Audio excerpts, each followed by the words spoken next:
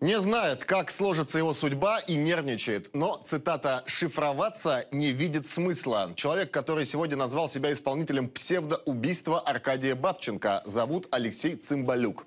От развернутых интервью отказывается, дал подписку о неразглашении, но кое-что уже выяснили. Состоит в запрещенном правом секторе, был священником, причем и московского патриархата, и киевского. Сейчас вроде бы монах-волонтер. Плюс участвовал в боевых действиях на юго-востоке Украины. Ну что сказать, какой-то дикий неразбавленный сюрреализм. А дальше еще круче. В СБУ причастность этого цимбалюка к делу и сотрудничество с ним сначала опровергли, а какой-то час спустя, внимание, от опровержения отказались. Но, видимо, поняли, раз уж начали, надо идти до конца. Да и как иначе после самой-то инсценировки? К ней за минувшие сутки отношение не поменялось.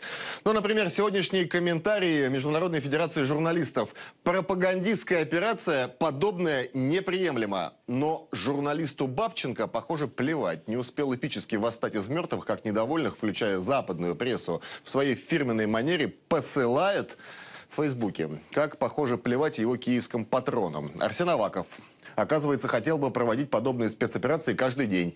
Антон Геращенко сравнил аж с Шерлоком Холмсом, мол, инсценировка смерти – давний прием. Ну, может быть. Только в детективах есть логика. А тут, чем больше деталей, тем бредовее все выглядит, убедилась Анастасия Ефимова. Анастасия, добрый вечер. Здравствуйте. Там ведь и с якобы заказчиком этого преступления тоже какой-то абсурд. Ну да, учитывая, что он работал по лицензии украинского Минобороны, вопрос к нему как минимум есть. А точно ли все случившееся не провокация СБУ? Вопрос, заданный сегодня на пресс-конференции Аркадию Бабченко. Буквально через пару часов после этого станет известно, что исполнитель псевдоубийства со службой действительно сотрудничал и ее приказы выполнял. Но чудесным образом воскресший журналист решил все-таки уйти от ответа. Насколько мне сказали, э, э, выбран не именно я, я был выбран просто первым. Э, насколько я помню, там было сказано, что вот этот журналист мелкая сошка, э, и он нужен просто для шумихи.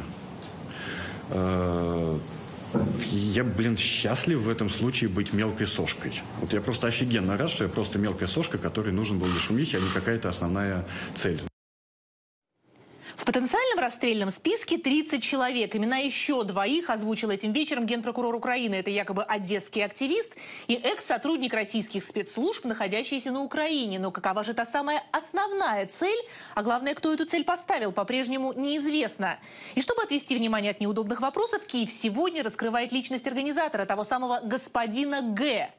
Это, оказывается, Борис Львович Герман, владелец единственного негосударственного оружейного предприятия на Украине. Сотрудничал с Минобороны, поставлял оптику для снайперских винтовок и, видимо, преуспел, потому что, если верить адвокату, однажды его бизнесом заинтересовались.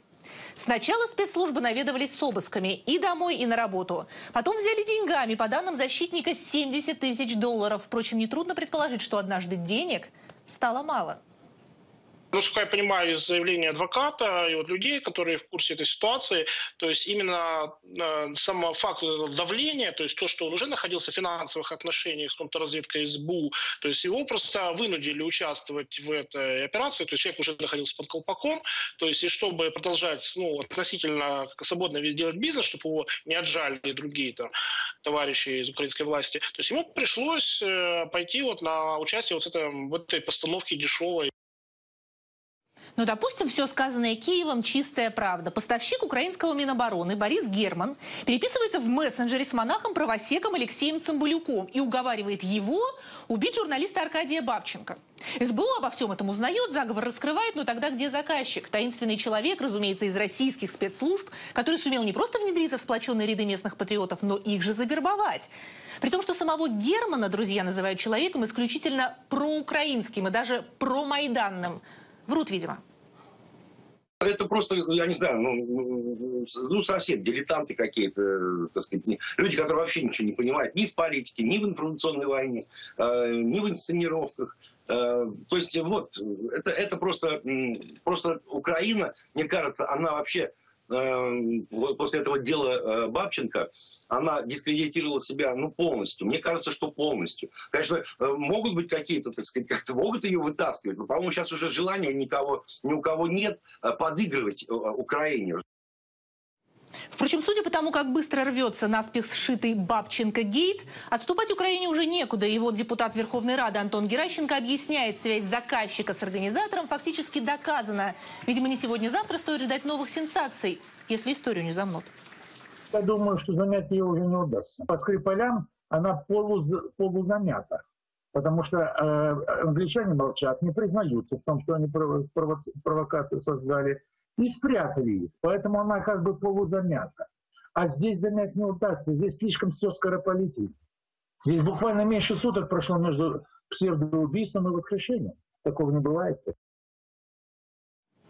Сам же Аркадий Бабченко, который нынче под надежной охраной и в безопасности, в желаниях особенно не мудрствует. Я планирую выспаться, отдохнуть и, может быть, э, напиться и заснуть вообще пьяным и не думать ни о чем дня, наверное, 2-3. Вот примерно так я сейчас планирую. Еще из неотложных дел, наверное, отмыть кровь с паркета. Ту, что на знаменитом теперь фото, красной лужей растекалась по полу, оказывается, свиная. Похоже, ничего человеческого в этой истории так и не нашлось. Анастасия Ефимова о том, как Аркадия Бабченко встретили с того света.